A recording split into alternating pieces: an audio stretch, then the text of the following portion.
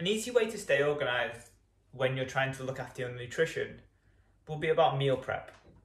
There are multiple ways that you can do meal prep, and it doesn't always have to be lining out your seven days worth of food on the side of your counter every Sunday afternoon. So the best three ways that I would actually say to do to do meal prep. One is called three in the fridge and four in the freezer. What you're going to do with that is that you're going to prep out seven days worth of food. You're going to split it into three days and put three days worth of the, the, the large quantity meals within the fridge. Anything that doesn't need cooking, like oats, fruit, all of those areas, protein powder, do not need to be prepped straight away. They can be done on the day. And then to keep the others fresh during the rest of the week, you can put them in the freezer and then you can bring them out the day before that you're going to use it. It keeps everything so automatic that all you need to do is think about getting your food out of the fridge and eating it over time. For you people that are really, really, really busy and you don't want to think about when you're going to cook food, how it's going to feel, what it's going to do, it's going to be super important for you to do that then. For you, for those that are looking for those, as I call it on the on the Instagram post, Michelin starred meals, this isn't going to be 100% what you're accustomed to.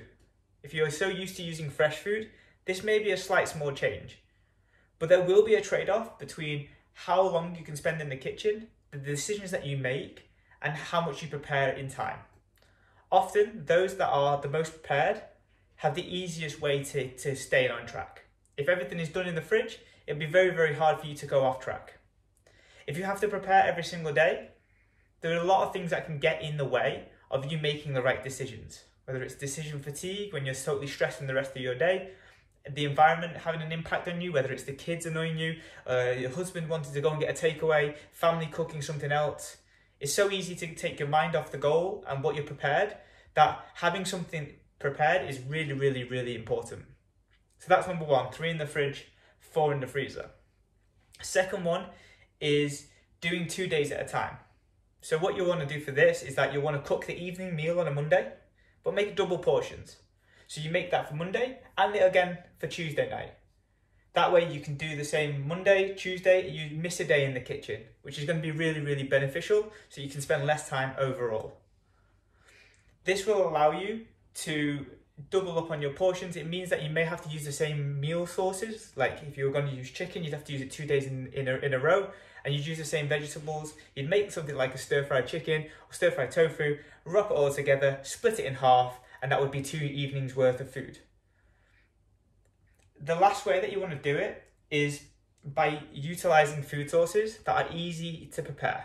As I mentioned before, protein powder, yogurt, berries, fruits, um, packaged pre pre-cooked stuff will always be really really easy to prepare. So if you really do ha- don't have any time to prepare and you don't want to cook fresh every single day, or you don't have the time, or you want to make sure that you're on track every day, use things that are pre prepared. You can go to Aldi nowadays and get some really good quality ready meals. You can go and get um, the pre cooked chicken or the pre cooked uh, protein sources from any of the Sainsbury's, Tesco's, or Aldi. And then you can use these in days like this when you have less to prepare. Over time, the quantity of meals may not be great because ideally, in the long term, you want to be finding a solution that works for you over the long term for most of my clients and even for myself included, I do some level of batch cooking, some level of meal prep every single week.